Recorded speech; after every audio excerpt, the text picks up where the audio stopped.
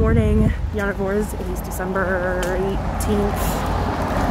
And I'm on my way to drop off a whole bunch of packages. This is the bulk of it. Um, my wife just told me as we were leaving the house that she feels like this sweater is something that Dan Levy would wear. And honestly, I don't think anyone's ever given me a higher compliment on my knitwear. And if you're wondering, this is the Vinterskov by Karie Westermann. I made it uh, whatever year she released it, two years, three years ago. But um, Karie made hers in a very classy, timeless, beautiful yellow, and I made mine in neon green because it's me. to literally no one's surprise, right? Anyway, I'm about to jump into the shops to get some stuff for next week and hopefully for some baking, which I am hoping to do today.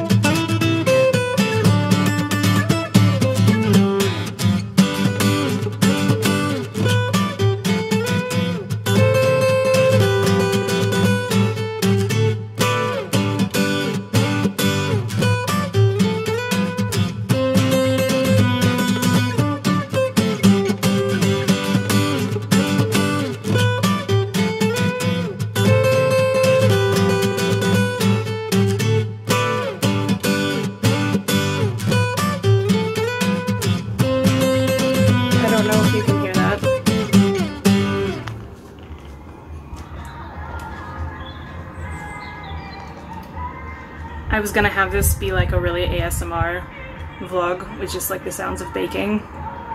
But I forgot that that school there plays loud music every Friday. It's my own fault for forgetting.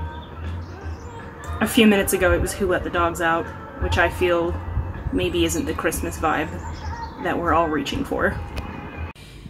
I waited until the song was over and moved away from the window just in case they decided to replay it, but they just played Last Christmas by Wham, so I will see you all in Whamhalla.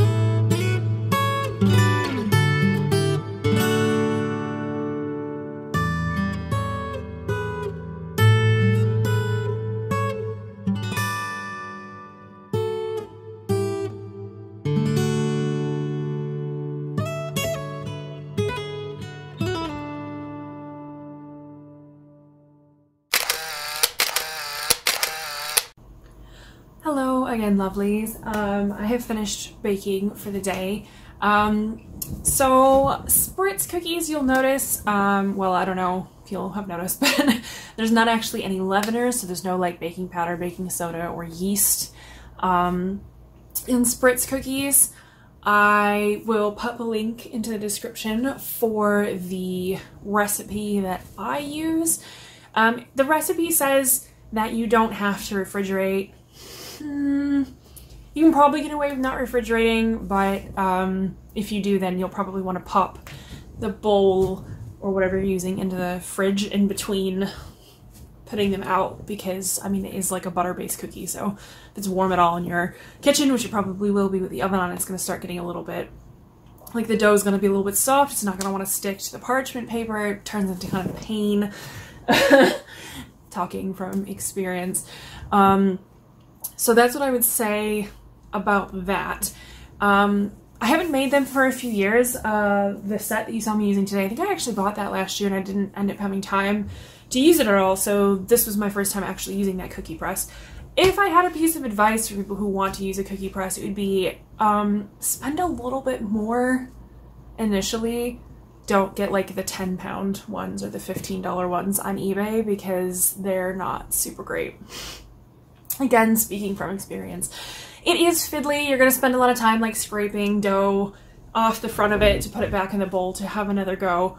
Um, so, I mean, that's just, I don't know. I've never found that to not be the case with with spritz cookies and like using a, a cookie press like it's gonna be a pain it is gonna be a pain unfortunately um, also with the recipe that I used I added a little bit more flour because I read through the comments on that recipe page and there was a lot of people who said that either the dough was too soft and wouldn't stick to the parchment paper or they were spreading a little bit too much and mine still spread a little bit you can see um, in the pictures and um, in the close-ups and stuff, they still spread a little bit. So um, I put probably an extra four tablespoons. Um, you know, just kind of eyeballing it until the dough looked a little bit less soft. So if you are going to use that recipe, then I would say um, maybe add just a touch more flour. Um, obviously, you don't want to add too much because then you'll have gross tasting cookies and nobody wants that. Um, so I'm pretty happy with how they turned out today. There have been times where me trying to make spritz cookies has ended in tears when I can't get the cookie press to work, which is what happened with my old cookie press that I had, I don't know, like five years ago or something. Um, and it was just because it was kind of a, a crappy build for the cookie press. Like I like the kind that you have like a full-on handle to clench, whereas that only had like a depression lever there was no squeezing, just like you pushed down and it just, it wasn't, I don't know. Personally, I like the ones with a whole handly thing. Um, and obviously, if you wanted, you could decorate them with royal icing if you want. I, I don't know, if I'm feeling real extra, I'll do royal icing or I'll do sugar cookies with royal icing, but it's usually only if I'm doing it like with friends as like an activity. Doing it by myself just kind of feels kind of sad. um, and cookie decorating, while I can sometimes rope my wife in, it's not really her jam, so um, so I tend to end up doing most of it myself, even if um, even if she helps out a little bit. And so I was like, I'm not gonna I'm not gonna do that whole charade this year because I'm gonna feel sad that I'm doing it by myself. So, um, but yeah, you could use royal icing on them if you want. You can always swap out the almond extract and use more, um, use more vanilla if you want, or just, or whatever. Um, did you know, I'm sure all of you probably know this, there's people who sell like artistic sprinkle mixes or like custom sprinkles um, or not necessarily custom, but you know what I mean, like bougie sprinkle mixes with really cool stuff on Etsy. And I meant to get some this year and I just, I left it way too late. I just didn't think about it until today when I was pulling all of my sprinkles out. Thinking, oh, I should have gotten some cool like artisan sprinkles this year, but I just left it way too late. Um, so I bought some at Asda this morning and I don't know if you can tell in the pictures, but so there was like the little holly and like the holly berries sprinkles. And like the holly leaves were fine, but for some reason the little red berries turned brown in the oven. I mean, I know why, it's it caramelized, but I don't know why they did that. Whereas the other red circular ones that I had in a different pack of sprinkles did not. So interesting. I'm sure somebody in the comments will probably have an answer. Um, anyway, so um, that's probably going to be mostly it. Oh, I just wanted to show you more of my Vinterskov sweater. I'll pop a link for that down below as well. This is probably my favorite garment I've ever made, which is kind of a shame as it's like aggressively festive. um, obviously you can choose to not make yours in neon green and have it slightly less festive. Um, it's because I really like trees. I'm a big fan of trees and also this was a different fit than any sweater I had made for myself before. This one is like a bit of a roomier fit, more positive ease, and I've always been like, I had previously always been like afraid to wear positive ease. I don't know, maybe I'll do another vlogmas about that. Um, but I think I made this two or three years ago whenever she released the pattern. Don't know when that was. Um, I've had it for at least two years, I think. anyway, but I wanted to show you um, that I have a little TARDIS on mine, and that was um, a chart that somebody put up on Ravelry, pre, obviously pre new Rav, because I don't really go on there at all much anymore. Um, anyway, and uh, it was, I think her name was um, Darcy Wunker on Ravelry. Had the little TARDIS chart edition um, for this, which I super love and absolutely ripped off her idea. I mean, I asked her first, I didn't just, you know, do it. Uh, anyway, I really super love this sweater. I love the colors. I love how the fit is. And I kind of just like want to make more of them, but maybe less festive. But then I don't know. I'm not usually somebody who makes the same thing twice. You know, I've got to like move on or I get a bit bored. But anyway, so this is probably my favorite thing I've ever made for myself. Um, and it's a shame that this is the first time that I've worn it this year. Usually I wear it to like every festive outing that I have in December, which last year was, I don't know, like a fair few, you know, go to a few parties, go to a few outings. I would just wear this every time like as a coat because it is very warm. Um, but obviously I've not gone anywhere this year, so it was only this morning when I was getting ready to go outside to take packages out that I was like, oh my god, I should wear my sweater. I haven't worn it yet. So I'm just gonna wear it uh, around the house if I I'll have to like keep all the windows and doors open, otherwise I'll get too warm. Um, but yeah, I love, love this sweater. It's probably my favorite. I've said that like 14 times now. So uh, with that, I'm going to leave you all. And tomorrow is, what day is tomorrow? tomorrow Saturday. We will be doing a live stream tomorrow night. We'll be playing more of the same Cthulhu Plays Christmas, so do come and join us. And I think tomorrow, hmm, I don't want to promise anything. I'm hoping to try and crank out another hat with the Aran weight to see how different the gauge looks because I am quite excited about that and that yarn, the yarn that I showed off yesterday, um, it's ready.